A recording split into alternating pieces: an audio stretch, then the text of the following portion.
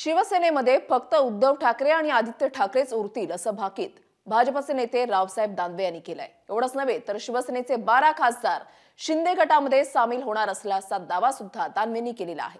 त्यामुळे आता आमदारांच्या बंडानंतर सेनेमध्ये निर्माण झालेली गळती वाढेल की थांबेल? आणि दानवेंचं भाकीत खरं होईल का? याकडे सगळ्यांचं लक्ष लागलेलं आहे. पाहुयात यावरचाच हा खास रिपोर्ट. बारा. बारा खासदार. शिवसेनेचे संपर्कात आहे चाळीस आमदार म्हणजे शिवसेना नाही. दोनच माणसं संग शिल्लक राहणार आहेत. आदित्य ठाकरे आणि उद्धवजी ठाकरे.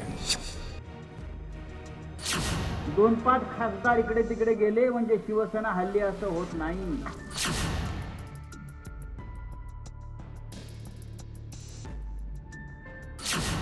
आधी वीस आमदार फुटले मग एका मागोमाग एक आमदार गुवाहाटीला पोहोचू लागले. आमदार नसलेले शिवसैनिकही गुवाहाटीत पोहोचले. आकडा वाढू लागला. दोन तृतीयांश आमदारांच्या वर गेला. सत्ता पालट झाला आणि मग प्रश्न असा पडला शिवसेना कुणाची? आणि उरलेल्या शिवसेनेचं काय होणार? अरे जन्माला कोणी घातली शिवसेना? बाळासाहेब ठाकरेंनी घातली तो आमचा बाप काय तुम्ही हक्क सांगताय? आमची शिवसेना खरी तुमची शिवसेना खोटी. हा वाद खऱ्या खोट्यातला नाहीये. हा वाद इमान आणि बेमानी मधला आहे. पण भाजपचे खासदार रावसाहेब दानवे यांनी केलेला एक दावा मात्र शिवसेनेची झोप उडवणार आहे. शिवसेनेचे काही खासदार जाणार म्हणून म्हणतायत. कोण बारा म्हणते कोण चौदा म्हणते तुमचा माहिती काय तुमचा अंदाज जरा असता. बारा. बारा खासदार. शिवसेनेचे संपर्कात आहे आणि लोक राष्ट्रपती पदाची निवडणूक जिंकून येणार. आणि त्यांच्या तीन चार खासदारांना पत्रच दिलंय उद्धव ठाकरेला. शेवाळेसारखा दादरमध्ये निवडून आलेला खासदार तो पत्र देतोय. भावना गवळी त्यांनी काढून टाकलंय. आता बाकीचे नावं सांगत नाही हे उघड झाले म्हणून नाव सांगू राहिलो. बाकीचे कसले सांगायचे नाव? चाळीस आमदार म्हणजे शिवसेना नाही. दोन पाच खासदार इकडे तिकडे गेले म्हणजे शिवसेना हल्ली असं होत नाही. शंभर आमदार.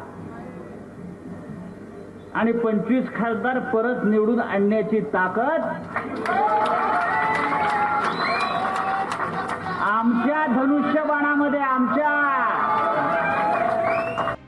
दानवे इथेच थांबले नाहीत तर शिवसेना रिकामी होईल असाही दावा दानवेंनी केलाय.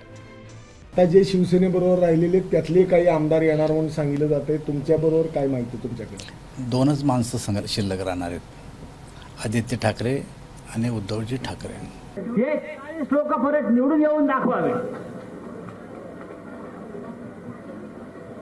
महाराष्ट्रात तर मी बघूनच घेऊ आम्ही पण जळगावपासून नांदगाव असेल मालेगाव असेल पुन्हा त्यांनी शिवसेनेशिवाय विधानसभेत जाऊन दाखवावं. योगायोग बघा जेव्हा दानवे हे आमच्याशी बोलत होते तेव्हाच शिवसेनेचे दोन खासदार पांडुरंगा चरणी आले होते. आम्ही त्यांनाही गाठलं आणि विचारलं आता तुमचाही विठ्ठल बदलणार की काय? राजकीय स्थित्यंतर होत जातात घडत जातात.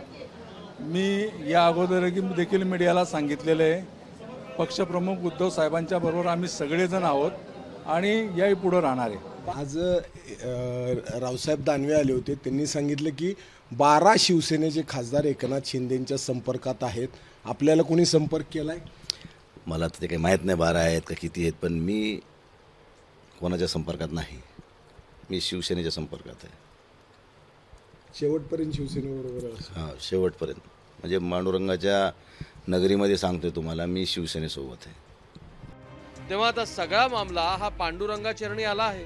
दहा तारखेला एकादशी आहे आणि द्वादशीला शिवसेनेची आणि शिंदे सरकारची न्यायालयात परीक्षा आहे. शिवसेना रिकामी होईल असे म्हणणारे जिंकणार की शिवसेना मजबूतीनं उभी राहील अशांच्या पाठीशी विठ्ठल उभा ठाकणार? हे बघावं लागेल. नाशिकहून मुकुल कुलकर्णीसह सुनील दिवाण एबीपी माझा पंढरपूर.